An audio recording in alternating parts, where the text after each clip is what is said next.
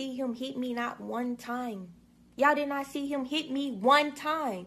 He was pulling me. I was pulling him. That's just us. That's how we like to play.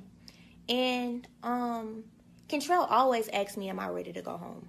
He always asks me, Nina, you ready to go home? I don't want to go home. I like being with him. So if I was being held under my will, wouldn't that mean that he's not asking me that? Kentrell asks me that all the time. So, kidnapped?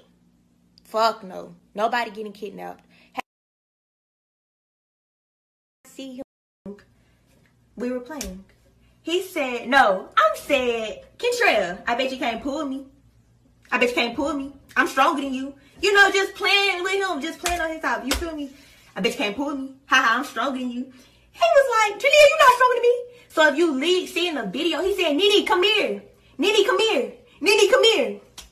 So, I mean, that video is us playing. What's the difference between this video of us playing and the video in the airport of us playing? When I had that red jacket on, and as soon as we saw people watching us playing, we waved. We wave and smile. That's how we play. I didn't know because we were in the public eye that we couldn't live our life or play how we want to play.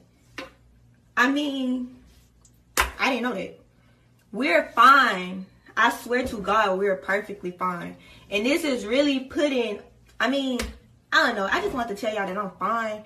And these